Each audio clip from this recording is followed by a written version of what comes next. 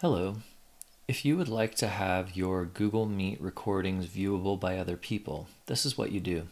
You go to drive.google.com, use the pull down menu next to My Drive to find the folder Meet Recordings. Click on the folder to open it. This is where all of your Google Meet recordings will be housed.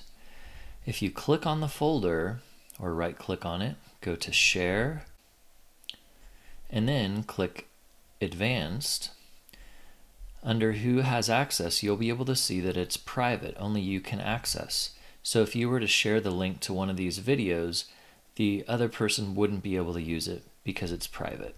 Let's change that. Click change, select on anyone with the link, make sure it's can view only, and then save.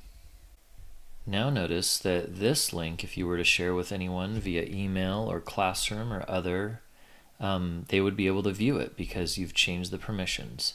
And then press done. Thanks for watching.